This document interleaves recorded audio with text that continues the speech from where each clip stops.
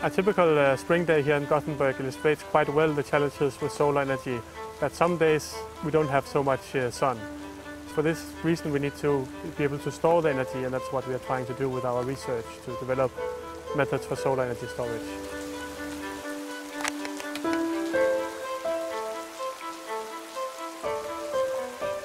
It isn't easy to store solar energy. There are different techniques under development. Solar batteries, imitating photosynthesis by splitting water, or using salts for phase transformation. Kasper Moth Poulsen and his group at Chalmers in Gothenburg use chemical reactions to store the energy.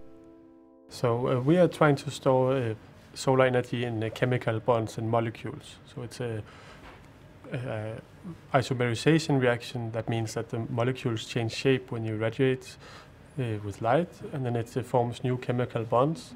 Then we have a high energy isomer that uh, we can store for a long time, and then when we need the energy, we can convert the isomer back to its original state, and then it releases uh, energy in the form of heat.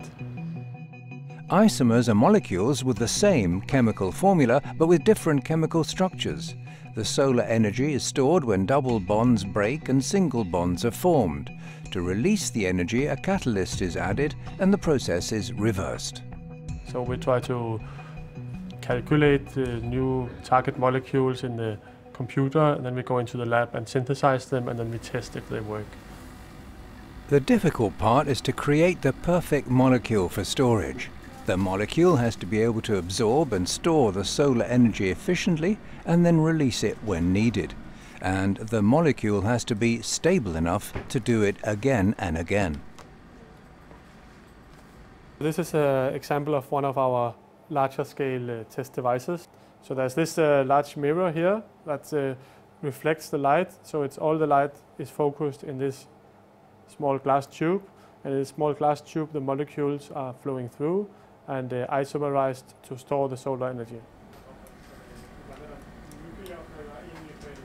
In this lab we are synthesizing the molecules we have designed. So here the process is to mix different species to hopefully we'll get the next generation molecule that is better at storing the solar energy.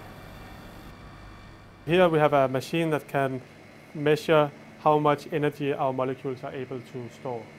So we put a small amount of molecule in this very, very small aluminium pan and then we place it inside this instrument and then it uh, releases the energy and measures how much energy is stored in the molecule. Apart from the development of solar energy storage, the scientists are trying to increase the solar cell's absorption of the sunlight. The sun contains all the colors of light, but it's only the blue light that is attractive as a source of driving chemical reactions. So, research efforts are focusing on developing material that converts different kinds of photons into blue photons. In experiments, the absorption has improved by 130%, and the goal is to create a solid film to place on top of solar cells.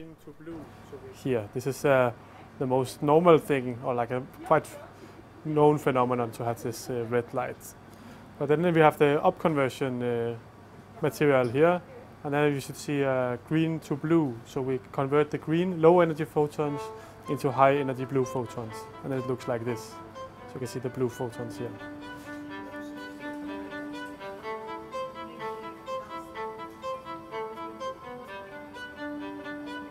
So my dream is that some of the molecules we are making today will actually be used out in the real life for solar energy storage.